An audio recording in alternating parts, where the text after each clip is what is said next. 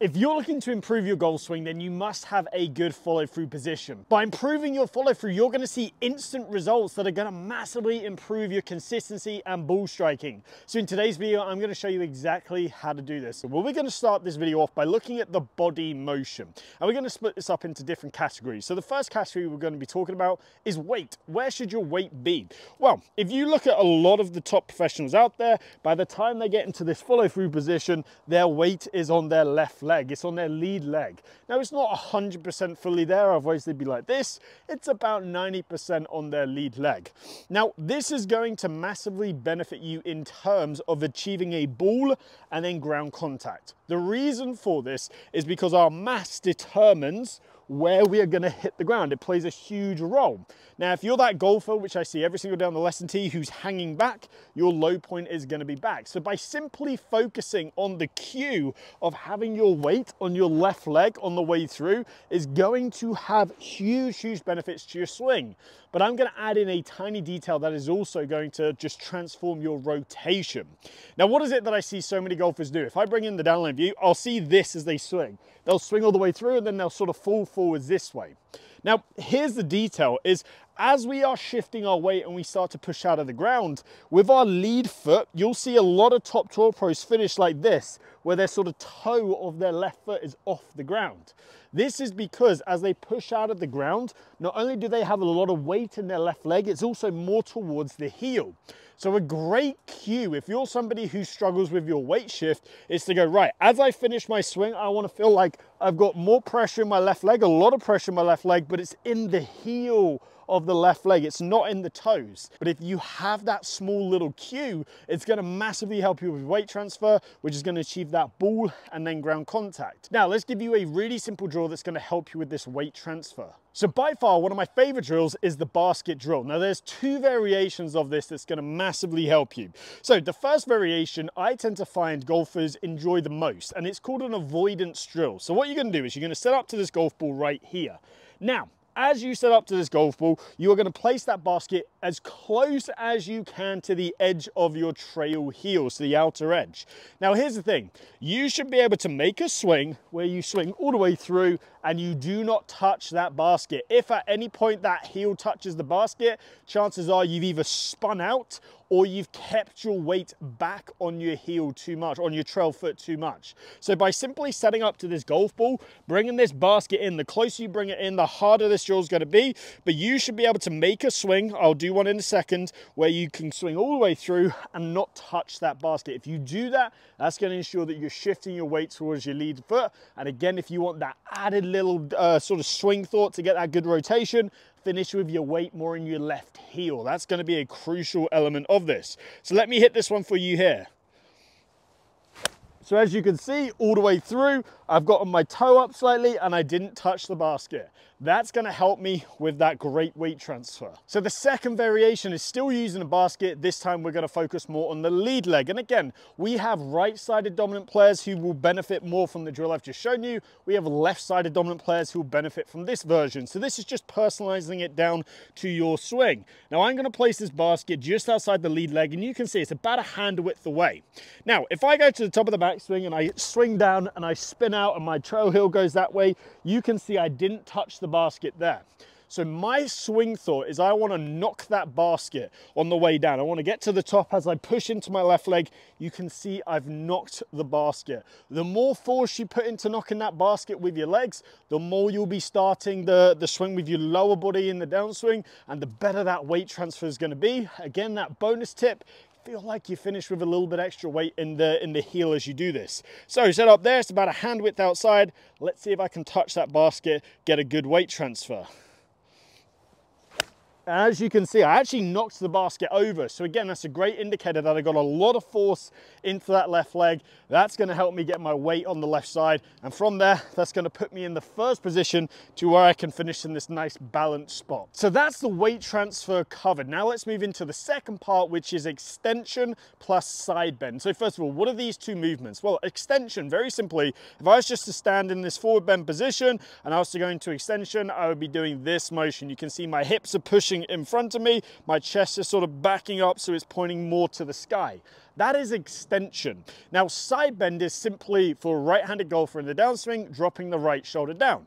Now if I do a weight shift, an extension move with a little bit of side bend, you are gonna see that as I do this, there's the weight shift. Now I'm gonna go into side bend with a little bit of extension. You can see how that gets me into a phenomenal downswing position.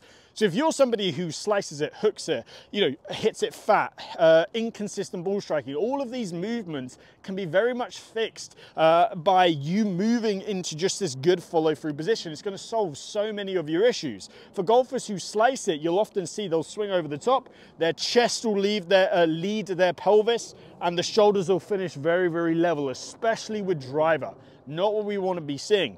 We want to be seeing that as we come through, the pelvis can lead, the chest points slightly to the sky, and we have a little bit of tilt to the shoulders. Now, how can we actually train this? Well, I have two phenomenal drills that are gonna help you with this. So let's jump into the first one. So the first one is an alignment stick drag through drill. This is one of my all-time favorite drills. So all you're gonna do is grab an alignment stick. Now, alignment sticks actually come in different sort of circumferences. The thicker the alignment stick, the more resistance you're gonna have, um, and arguably the better this drill is gonna be. So this is kind of a, a skinny alignment stick. It's not gonna be as great, so try and get a thicker one if you can. So grip it all the way at the top of the club, bring it in front of you, and then bring it so it's in line with your toes, your trail toe right there. Now, from this position, push into your left leg, so this is representing your weight shift. Now from there, just gently drag this club through as close to your toes as possible, and all the way through into a nice follow through position. What you can see here is the pelvis is tucked under and the chest is pointing up to the sky. So do that a couple of times like so. Now, what this is also gonna help you do is it's gonna help you find what position is realistic to you. Now, I have looked at my analytics. I know my audience is of an older generation. So we have to be realistic here. We have to factor in your flexibility as long as you are not leaning towards the target and if you're in a straight line that is absolutely fine. Some players like myself i'm 26 i've got good flexibility. I'm going to have my thoracic extension a little bit more this way so my chest is going to be able to point to the sky. But if i'm telling you and you're a 75 year old golfer it's not realistic. So please, please, please use this drill as a way of finding out how much extension is actually possible for your swing. By doing this drill, if you finish like this and you're pretty much just straight up, that is perfect. That is what I want you to achieve. If you do this and you finish like this, where you've got a little bit more extension, chest is more to the sky, pelvis is really tucked under, then absolutely fine. That is your position. So do that a couple times. Once you've sort of gotten used to that, again, you can link in the pressure being in the heel, you can link everything together. Then it's time to grab a club. Now, once you grab that club, we are not gonna go straight into hitting shots yet. We're actually gonna do what I call drag through drills with a golf club. So if you're an ice hockey player, you're gonna love this. So set up in this position and then just sort of recreate what a good impact position will feel like. Now from there, imagine there's a golf ball there and you're just gonna drag it through into a nice follow through position. So what we're doing here is we're taking out any momentum, any downswing positions. We're just getting used to this feeling right here. And you can see as I'm doing this, I'm in this good extension position. My trail shoulder is slightly lower than my lead shoulder. If I actually go in with a golf ball now and I try and do that, so preset impact, drag it through into that good position. Now the next stage is then to actually hit sort of some three quartery half shots, which I'll show you what that looks like right now. So let's now show you what a half swing would look like. So again, it's gonna be a half swing, back swing, full swing all the way through. I wanna hold my follow through for at least two seconds to ensure that I'm in good balance right here. So now let's go into the final part, which is actually my favorite part of all of this. And this is something that you will see the best players in the world use all the time to manage their ball flight, manage their game. And it's understanding the release, how we change certain aspects of it uh, in order to develop different shot shapes and help fix things out on a golf course. So from the downline view, as a standard, a neutral exit would be something that runs roughly through the left armpit. So hopefully that's running through the left armpit right there that's going to encourage a relatively neutral plane. Now, if I go into this follow through position, so where the club first exits right here, and I lower it down this way, you can now see it sort of through the mid rib cage, hopefully from the downline view. The more I go below my left armpit, the more I'm going to be encouraging an out to in path. The more I go above my left armpit, more sort of through my shoulder, the more I'm going to be encouraging an in to out path. So let's use golfer A. We're gonna call him Brian. We're going to call him Brian. Brian struggles with a slice. He's been struggling with a slice for ages, and we need to, out on a golf course, give him a very manageable swing thought just to help him get round, just to help him sort of solidify this down and just manage his game. So, Brian, when you look at his swing, normally finishes very low, very left this way. So what I'm going to get Brian to do is take his right hand off the club, get him to grip right above sort of his, his elbow area, so kind of on his tricep, and do some swings where he feels that club exit nice and high. Now for Brian, it's going to feel like it exits more sort of through uh, your trap muscle. In reality, it might not be that high, but you can see as he does this, he's going to learn what it feels like to have that club sort of drop in the downswing and then finish nice and high. It's going to teach him two things. Number one, it's going to teach him how to swing a little bit more into out. And number two, as he does this with his trail hand off the club, he can actually feel what it feels like to release that club. Now, as Brian then does some practice swings, I'm going to get him to feel like he drops the club down and then feel like he finishes in that nice high follow through position, allow those wrists to pass over in order to help him fix his slice. So as he then goes out on the golf course, he can then go, right, feel like the club drops nice high follow through position keep the wrist nice and relaxed right there. Then he hits his shot and you can see that's produced, a, I mean, in that situation, that's probably what, like a 15 yard draw. Again, if Brian is a golfer who is slicing the golf ball, he can use that simple little fix to manage his game. And that is often what golf is about. It's not about perfecting it out on the golf course, it's about managing your game. So by using that simple sort of exiting higher, he was able to shift his path into out, release it more. From there, he reduced the amount his golf ball was slicing. So let's use a second example. We're gonna call this this goal for Clive. Now, Clive suffers from a massive hook.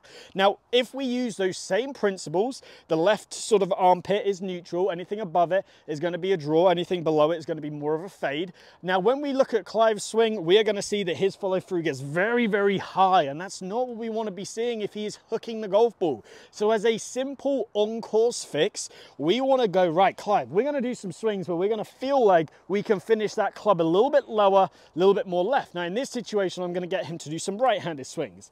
I'm going to get him to go to the top, feel like as he comes through, he can turn, get that club really exiting, sort of feel like it's through his rib cage more, a lot lower.